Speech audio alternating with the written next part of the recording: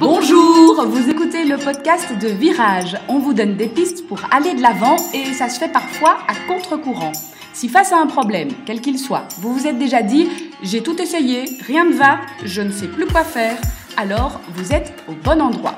Je suis Marina Blanchard, psychologue, formatrice et fondatrice de Virage. Mon école s'inscrit dans la lignée de celle de Palo Alto, c'est-à-dire de la thérapie brève. Et je suis Peggy Van Lierde, chef d'entreprise, journaliste et coach en développement personnel. Ensemble, nous vous proposons des réflexions pour avancer autrement.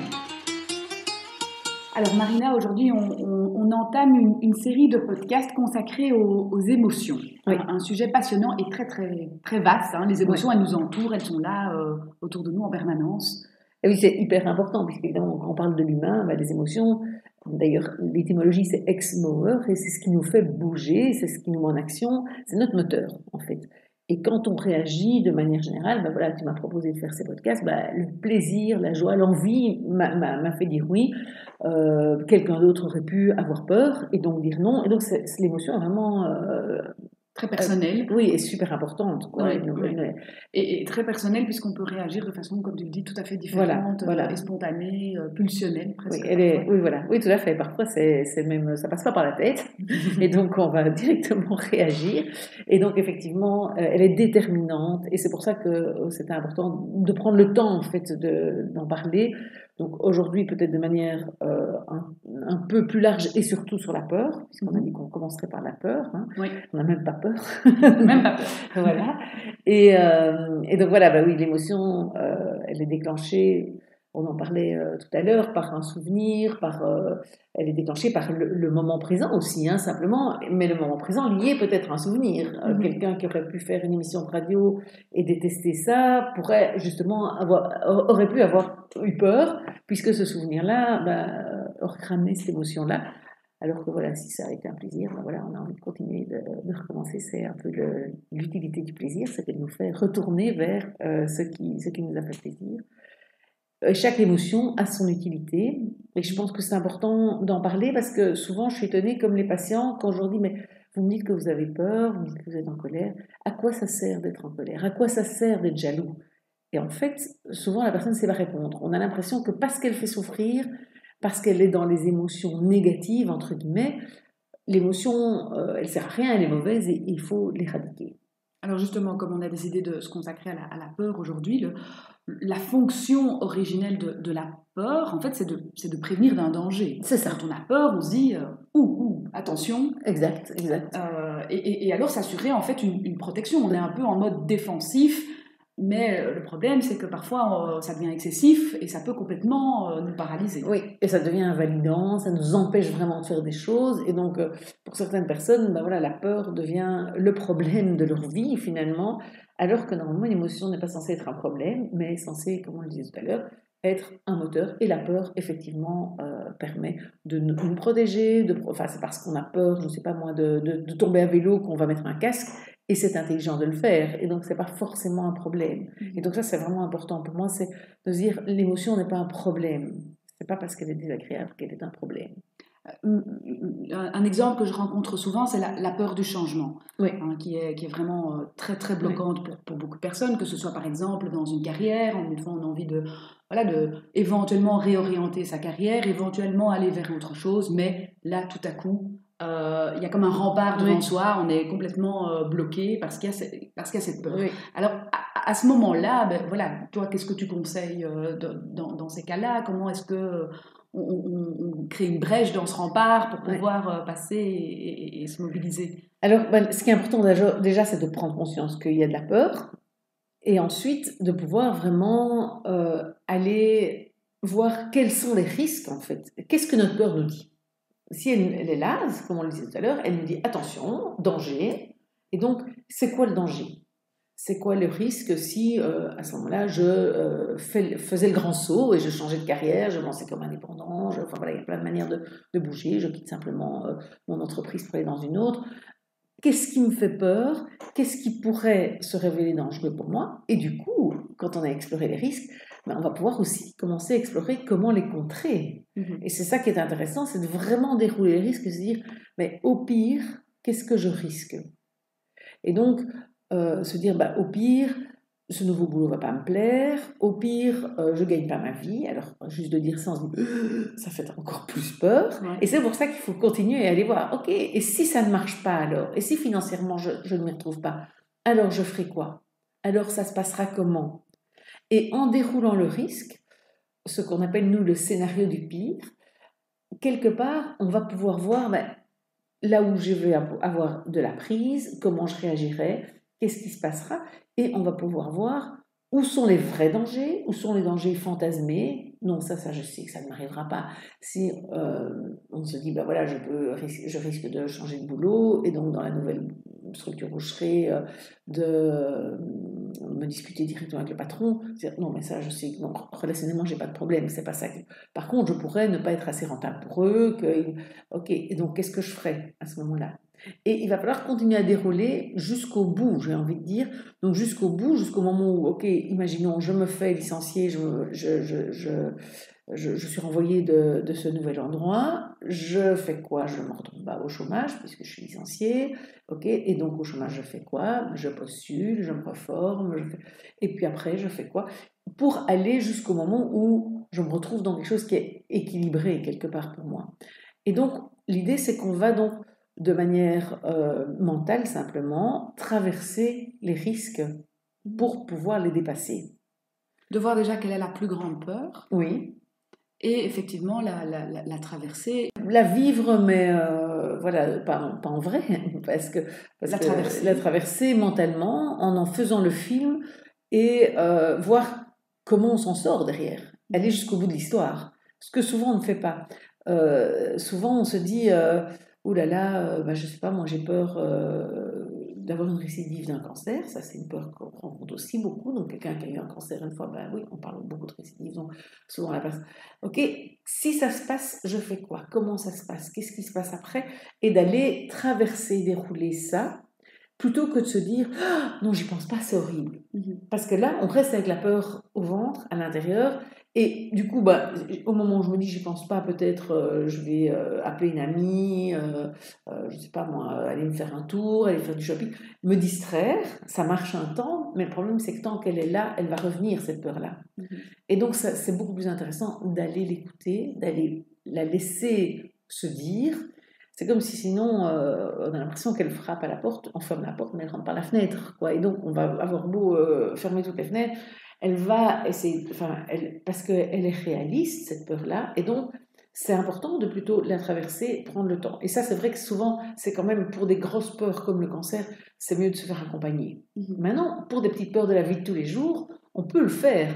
Euh, J'ai peur que... euh, On peut soi-même dérouler le scénario. peut, oui, tout à fait, tout Ouais. à fait, exactement. de, de- de Exactement, quelle serait la plus grande Oui. peur, quelle serait l'étape suivante, etc. Parce que c'est vrai que c'est c'est le propre de la peur, c'est qu'on a plutôt l'impression qu'on va mettre ça dans un tiroir et surtout ne plus y penser, Oui. surtout l'oublier. Ben oui, oui. Alors que pour, euh, pour la banaliser ou pour arriver à vivre avec, on doit plutôt la traverser. Quoi. Complètement. Ouais.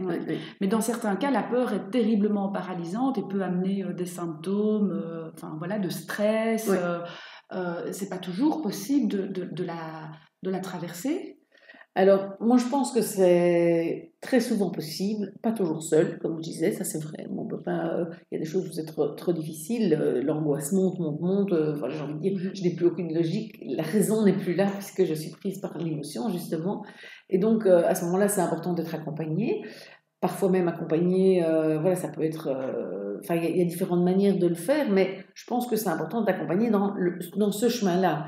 Pas d'être accompagné pour mieux l'oublier ou Oui, mieux ne pas la la ressentir. euh, voilà, non, ouais. non, c'est ça. L'idée, c'est vraiment de, de, de pouvoir faire cette traversée-là euh, courageusement, je dirais, parce que ça demande quand même du courage.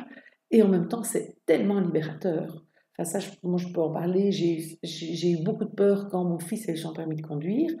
Euh, en me disant bon voilà euh, alors euh, c'est pas que il est pas complètement fou sinon je ne le dirais pas ici mais il est quand même voilà par rapport à mes filles plus jouette plus à vouloir faire le malin avec les, les copains dans la, dans la voiture etc mettre la musique etc et donc j'avais j'avais peur d'un accident de voiture et donc, c'est vrai que euh, bah, j'ai été obligée de me confronter à cette idée-là de l'accident et à comment j'y réagirais. Et même si l'accident était dramatique, bah, comment serait la vie après?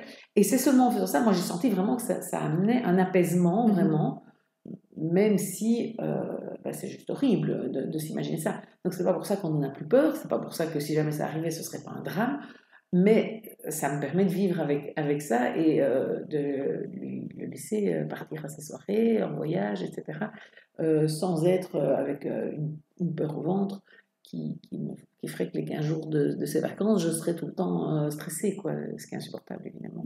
Oui, c'est vraiment apprendre à l'apaiser et à vivre avec. Mm. Mais évidemment, euh, on n'a pas une baguette magique et elle ne disparaît pas euh, du jour au lendemain. Enfin, pas, euh, Mais surtout que souvent, elle a de bonnes raisons d'être là. Mais ça peut être des petites peurs aussi. hein. Ça peut être la peur de prendre la parole en public, s'imaginer prendre la parole et puis se dire qu'est-ce qui peut m'arriver? Ah oui, voilà, je n'ai pas bien parlé, j'ai bégayé, je sais pas, enfin voilà. Se dire, ok, et ce serait quoi les conséquences? Et ça peut être apaisant de se dire, au final, ben, voilà, ce- parce que c'est pas toujours des- toutes les peurs, évidemment, heureusement, ne sont pas des questions de vie ou de mort. mhm. Et donc, euh, la, la traversée, parfois c'est pouvoir accepter la mort, mais parfois c'est simplement pouvoir accepter de décevoir un peu, de ne pas être tout à fait à la hauteur. Et donc, c'est un, beau chemin qu'on fait personnellement, puisque euh, ça nous permet du coup de passer à l'action. Puisque, comme tu le disais, le pire, c'est quand la peur enfin, nous, nous empêche de passer à l'action, nous bloque. Et en plus, moins on passe à l'action, moins on se sent capable de faire, et plus on a peur. Mhm. Et donc ça, c'est important, c'est que On reste englué dedans. voilà, voilà. On parle de, de, de cercle vicieux. Toujours, nous, on cherche toujours dans quelle boucle les gens sont coincés. Et là, souvent, les gens qui ont peur, ben, ils, ils ne font pas. Et donc, moins ils font, ben, moins ils apprennent qu'ils sont capables, euh, moins ils apprennent à le faire aussi. Mhm. Euh, c'est comme si, au moment d'apprendre à marcher, en tombant une fois, on avait eu peur après de retomber, tellement peur qu'on se serait jamais mis debout sur les deux pieds ou qu'on n'aurait plus jamais lâché la main de maman, quoi. Et à ce moment-là, ben, on n'aurait jamais été capable de marcher après.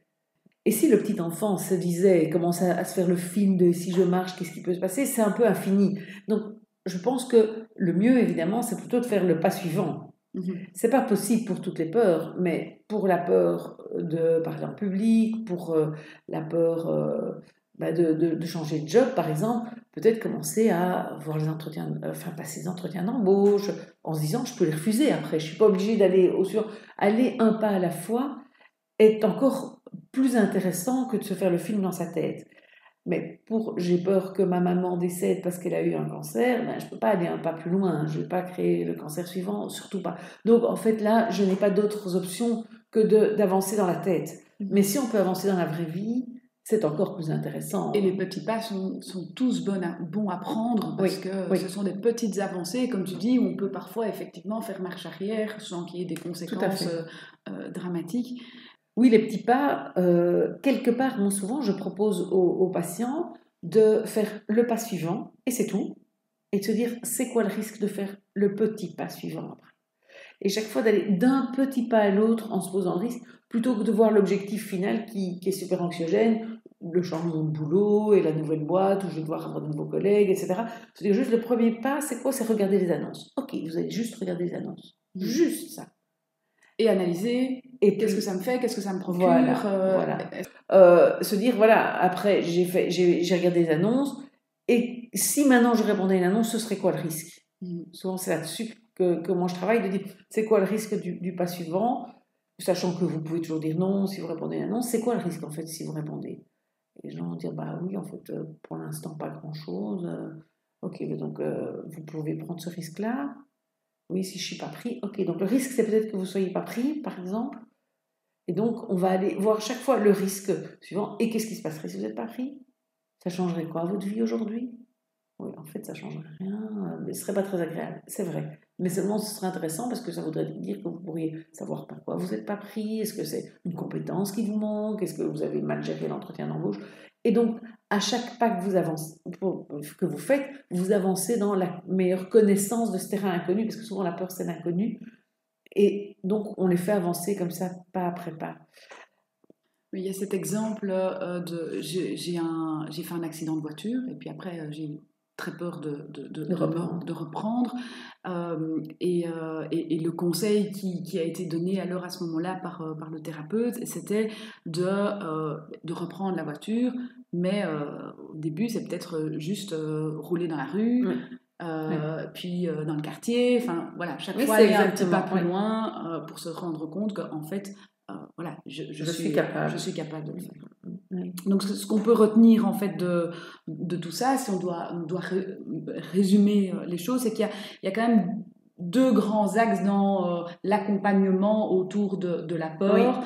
Il y a cette peur qu'il faut traverser pour, d'une certaine façon, un peu la, la banaliser ou en tout cas arriver à la maîtriser. L'apprivoiser. L'apprivoiser, voilà. oui.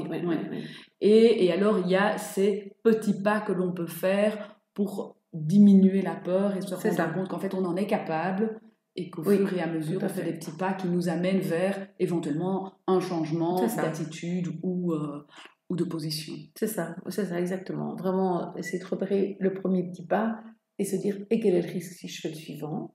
Ayant conscience du, du risque, le faire. Ou si je peux faire quelque chose pour diminuer le risque, je le fais, bien évidemment. hein, c'est ça qui est intéressant. Ok. Alors une autre euh, émotion euh, euh, bien, voilà, qui, rev- qui revient souvent, à laquelle on est souvent confronté comme coach ou comme thérapeute, ça va être la colère. Oui, Et ça sera l'objet du prochain podcast. Donc on vous fixe rendez-vous la semaine prochaine. très bien. Merci. Pour ne rien rater des épisodes de Virage, vous pouvez vous abonner et également nous suivre sur le compte Instagram de Virage.